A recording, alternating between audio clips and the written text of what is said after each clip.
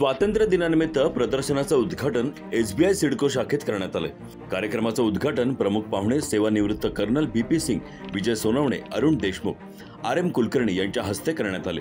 या कार्यक्रमाला ज्येष्ठ मान्यवर देखील उपस्थित होते. कार्यक्रमाला पेन्शनधारक बँकेचे कर्मचारी आणि त्यांच्या कुटुंबियांची देखील उपस्थिती होती. प्रदर्शनाच्या उद्घाटन प्रसंगी बँकेच्या नाशिक विभागाच्या प्रादेशिक व्यवस्थापक श्रीमती सीताक्षी सिंग उपस्थित होत्या. तर बँकेचे मुख्य व्यवस्थापक सर्वेश कुमार लाल यांनी कार्यक्रमाचं यशस्वी नियोजन केले. कार्यक्रम यशस्वीरित्या पार पाडल्याबद्दल शाखेच्या मुख्य व्यवस्थापकांनी उपस्थितांचे आभार मानले. जागर जनस्थानसाठी श्रुती सापणार नाशिक.